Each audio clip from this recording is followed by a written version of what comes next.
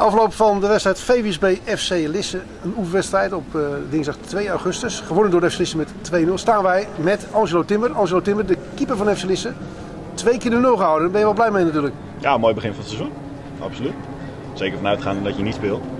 Omdat Brian geblesseerd is. Maar ja, als je dan mag spelen en uh, je houdt twee keer de 0, ja, alleen maar mooi meegedaan. Ja, en ik heb begrepen dat jij ook het vertrouwen krijgt van de spelers. Ja, absoluut. Zeker de laatste weken. Vorig seizoen ja, veel vierde plan gehangen, onder, uh, sowieso vanaf het begin van het seizoen. En uh, uiteindelijk teruggevochten, einde van het seizoen, als tweede keeper erbij mogen blijven. En uh, ja, vanaf het begin van het seizoen eigenlijk de lijn doorgetrokken.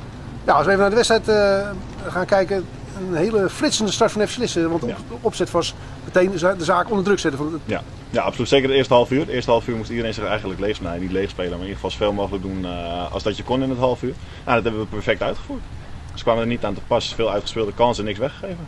Ja, je staat een beetje op afstand natuurlijk de kijkerskeeper. Maar kan je daar ook echt van genieten hoor, die, die aanvallen? Ja, absoluut. Ja, zeker van het teambelang. De eerste kans in de wedstrijd, Koen Fokkema, die had ik al geteld die bal. Ja, nou, ik denk iedereen wel. Ja het, is, ja, het is lastig. Je speelt op een ander veld. We gingen er vanuit dat we grasvoetballen. Dus iedereen had niet zijn juiste kiksen bij zich. Er mag niet, mag niet een, uh, een, reden voor zijn dat je zo'n kans mist. Maar ja, het is jammer als je zo aan de wedstrijd begint. Het is een uitgespeelde kans. Mooie bal breed gelegd van Moerad. En ja, jij schiet hem over helaas. Ja. En dan gaan we naar de twee strafschoppen toe. Ja. Dat waren de zuivere strafschoppen. Kun je ze nog even beschrijven? Eerst, de eerste strafschop? Uh, de eerste was dacht ik een lange bal van uh, Robert Boksel.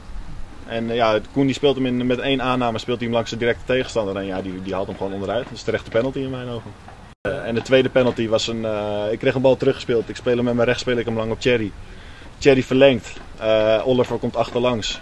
Ja, die komt één op één voor de keeper en de keeper haalt Oliver neer. Ja, en uh, ze worden dus heel goed benut ook door uh, Martin van Eelwijk en Moerad Eunal. Ja, ja, twee keer de verkeerde hoek ingestuurd. En uh, met Moerad ja, hebben we het over een speler die vooral het eind van vorig seizoen in vorm raakte. En, ja. ja. die had ook nog één of twee mogelijkheden om nog meer doelpunten te maken. Ja, absoluut. Maar ik denk dat we er nog wel meer hadden. Ik denk dat we zo met 6-7-0 van, van, vandaag weg hadden kunnen gaan.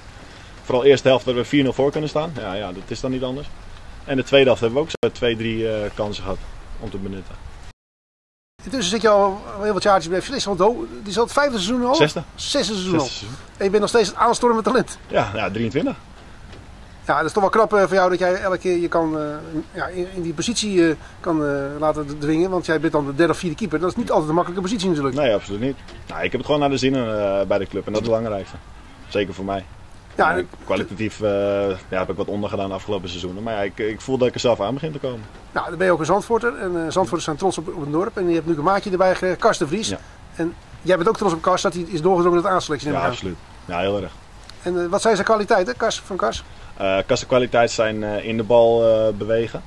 En ja, vooral mannetje uitspelen en voorwaarts spelen in het begin, ja, het komt er nu niet uit. Ja, je speelt toch bij het eerste, je bent bij de selectie gehaald. Het is, het is even een drempel waar je overheen moet. Maar als je helemaal dat vertrouwen krijgt, dan weet ik zeker dat het een, uh, van toegevoegde waarde gaat zijn. En dan hoor je altijd, Echelisses, dat is een groep, die jongens gaan goed met elkaar om. Is het echt zo dat jullie zo'n hechte groep vormen?